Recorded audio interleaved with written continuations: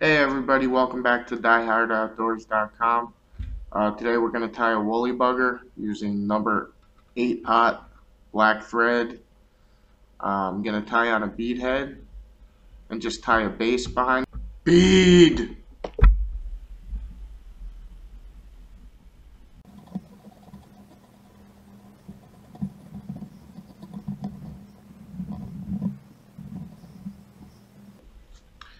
Now you're going to see I'm just tying lead behind the bead.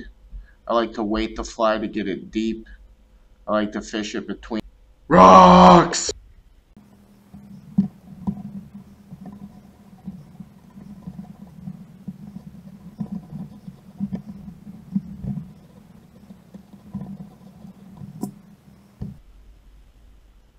Now I'm going to tie in the tail. I'm tying this one brown. Um, I use the back end of the marabou feather. Um, the very tips, I like to pinch it down and measure it uh, to about the same size as the hook length. And you can see here I'm just pinching off all the very thin blood feathers that extend out. Um, it makes the tail a little, a lot more bushy, uh, so that when it's floating through the water, it pulsates and gives off a lot of oxygen. Again, when I lay down the tail, I want to measure it to about the same size as the hook. And I'm going to give it a few loose wraps just to secure it in place. You'll see it spin on you a little bit. So, like I said, you want to give it like one or two loose wraps. And then I like to tie the rest of my material down along the hook to make it a little bit thicker and it also makes everything more uniform.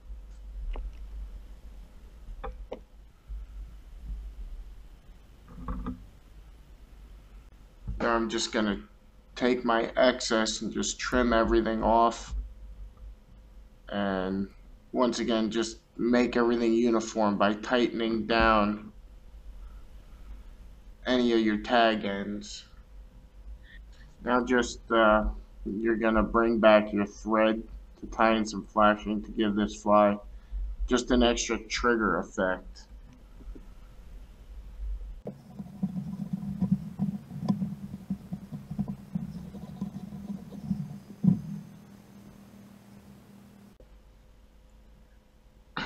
Now, like I said, you're going to use flashing and you're going to fold down on one side. I like to use the side that's facing me first.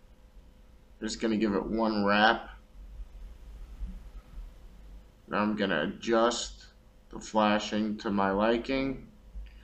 Just put it kind of midway down the feather.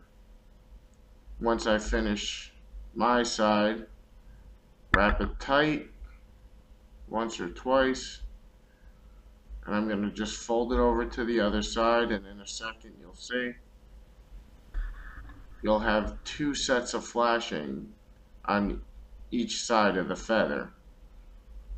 Once I fold this over give it a few wraps behind and now you have flashing on either side of the feather and I like to cut it just a little bit past my tail.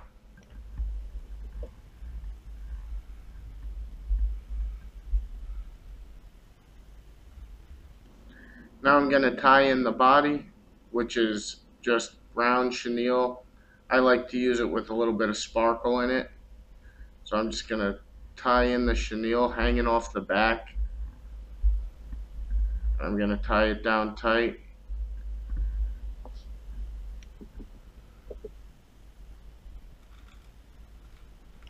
And the next material I'm going to use is going to be saddle hackle.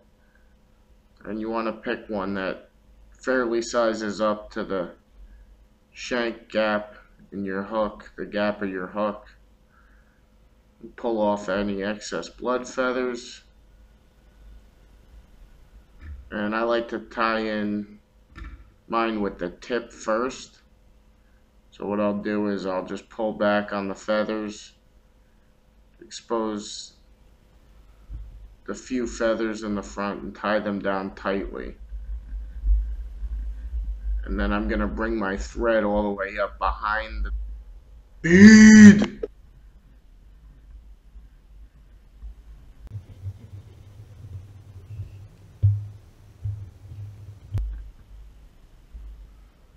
Now I'm going to take my body with chenille and make close, tight wraps all the way behind the bead.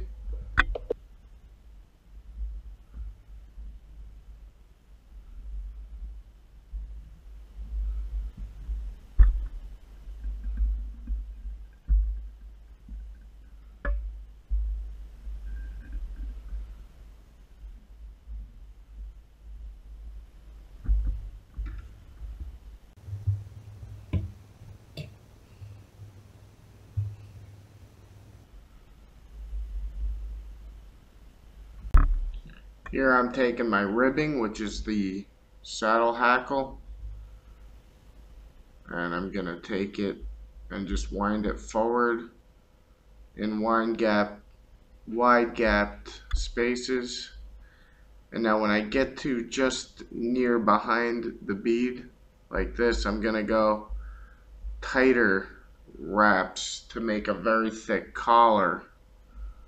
Um, you'll see I'm going to pull back on the hackle just so that as I tie it in it has a backward pitch.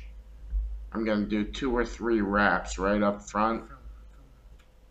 Then I'm going to tie it in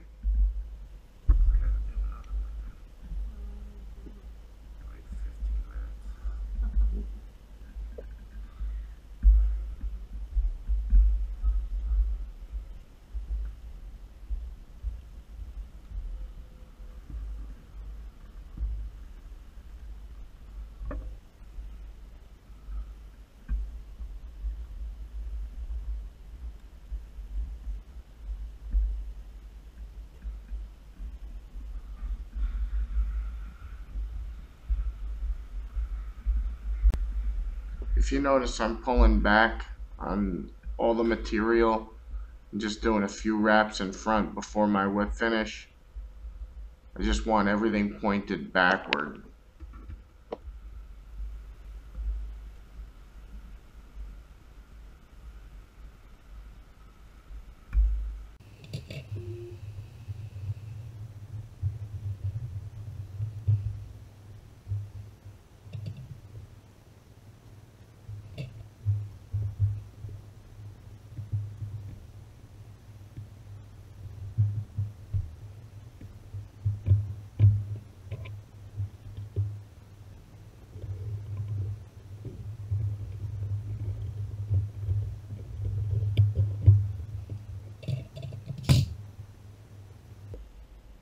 There you have it guys, the woolly bugger. Awesome fly to fish.